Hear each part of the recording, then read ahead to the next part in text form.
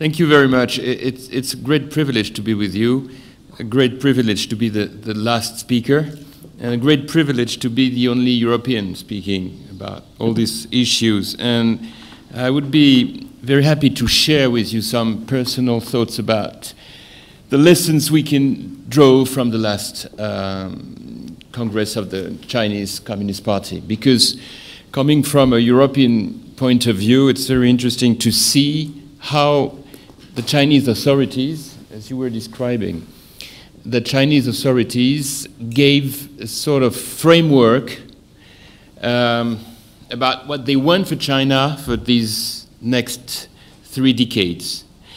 Two objectives. The first one is to say China is going to be the first power in the world within 2050.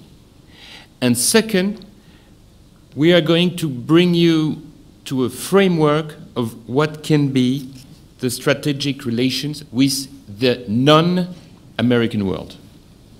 And this is very interesting because the Chinese authorities and the President Xi Jinping gave for that a very brilliant idea, which is this famous Silk Road. We like the word in, in French, uh, one belt, one route. It's, it's very, very scale. It's a sort of new Marshall Plan for the 21st century. And I think we, all of us, should make a great focus on this project. Because when you have a look to it, it's unstoppable. First of all, because there is one criterion that makes sure that this is going to be successful. It's a total alignment of interests between all the shareholders.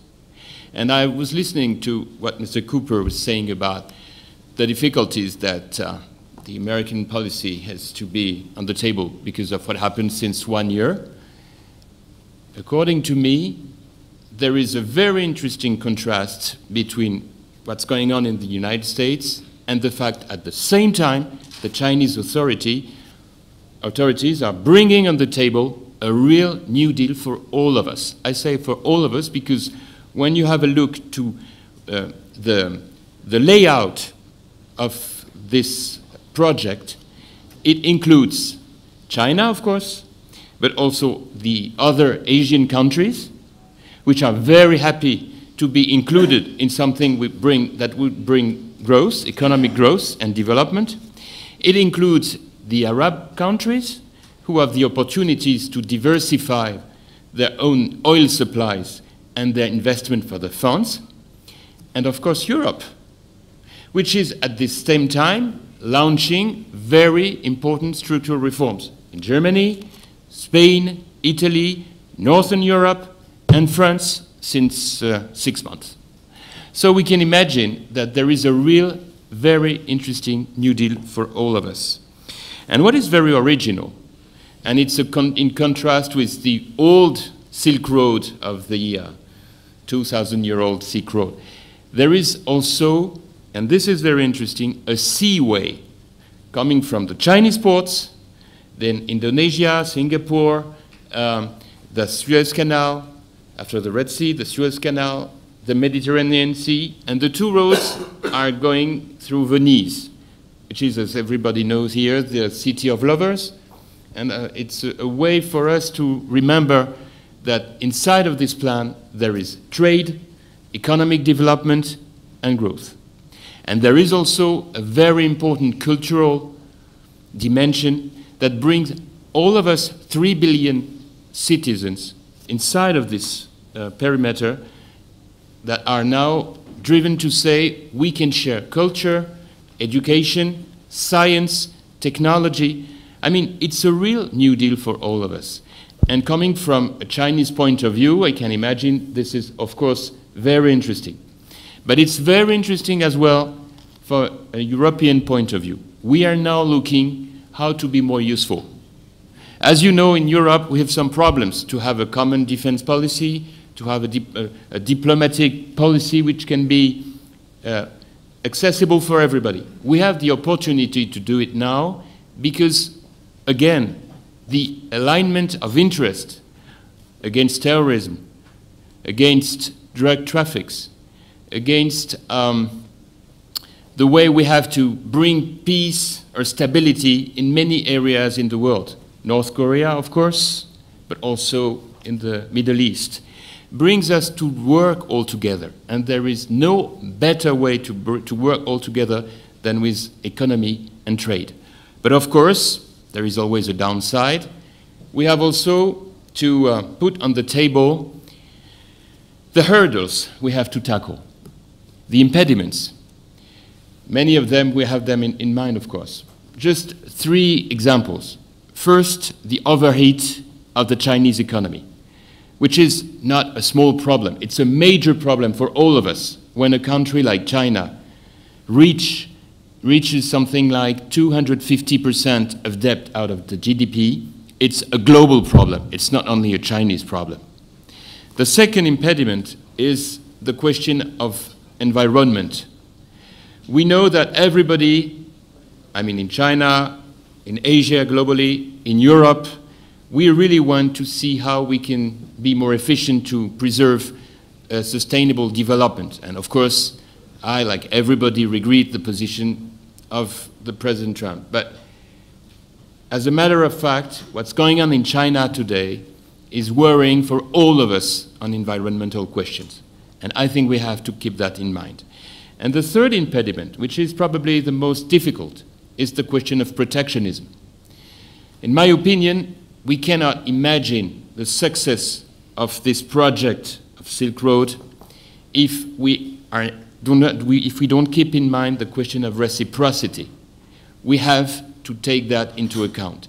If the trade is not fair between China and Europe, we will not be able to be successful.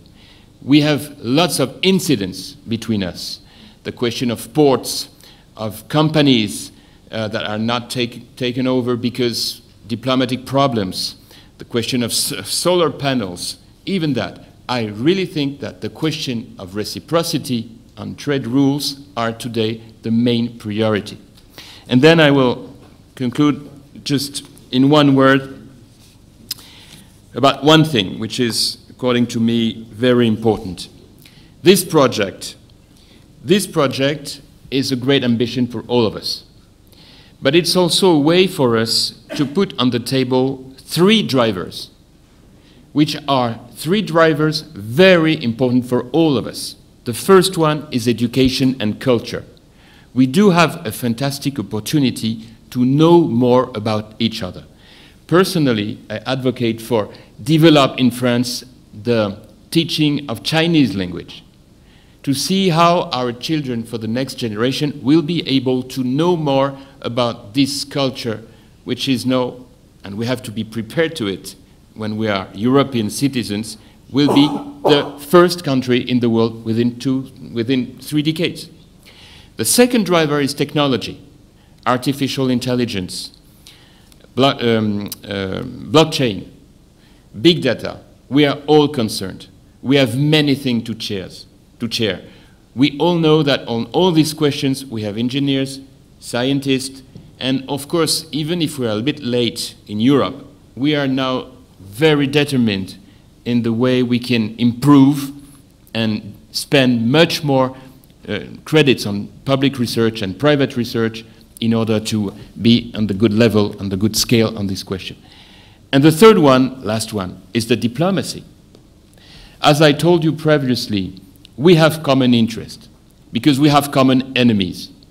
And I think that a good diplomacy is a diplomacy where you could put in the table common values but also common interests. Our cultural models are very far on many questions. So we won't be able to solve all the questions. There are too many differences. Human rights, Tibet, Taiwan, we know all about that. But there are common interests. Again, what's going on with terrorists, with drug trafficking, with all the questions we have to tackle, we have common interest. And this can bring us to a new diplomacy. So I think that the European Union today is ready, provided its own capacity to continue and intensify the structural reforms, to be on the good level, to be one of the major partners for China and Asia. So this is a great opportunity, and waiting for our American friends to be on the top on this question as well, after many, maybe waiting some years. We have the time to do it on our own term. Thank you.